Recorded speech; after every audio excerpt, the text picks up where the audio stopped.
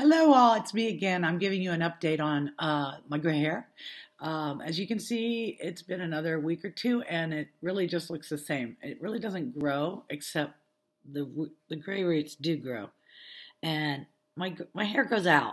It doesn't grow long. It grows out. Oh, there's a good spot. Look at that. So what I'm hoping to do is uh, get it all a certain length, and then take a number two guard and buzz it off, and have cute little gray hairs.